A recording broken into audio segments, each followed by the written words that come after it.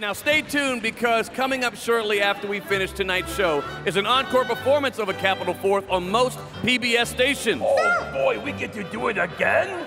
Oh boy, oh boy, oh boy, oh, Yeah, oh boy, yeah, we boy. can, we gonna do it all over again. Yeah. I want to say thank you to a Capitol Fourth for inviting me to be your host on America's National Independence Day celebration, and a special thank you to the audience at home for letting me be a part of your celebration. And I want to thank Elmo and Cookie Monster for joining me tonight. Anything you guys want to say? Oh, yes, Yes, it is truly the best birthday party I've ever been to on a day that celebrates our freedom. And cookies.